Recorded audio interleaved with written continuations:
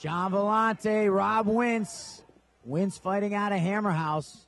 Definitely the most experienced opponent for Gian Villante in his young career. The list of Wince opponents includes the aforementioned Sean Salmon, Lodune Sincaid of Ultimate Fighter fame on the list of former opponents for Wince. Wince shoots for the takedown. No surprise for someone trained under Mark Coleman.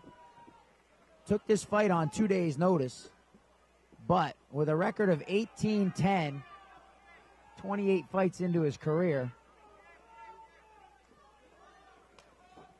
expect that Wince will not get too flustered.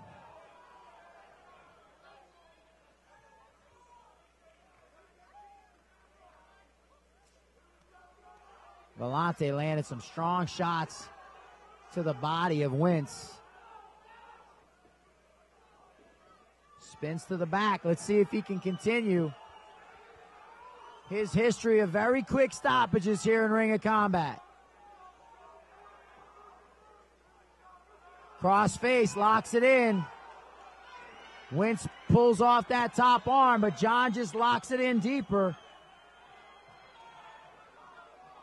Doesn't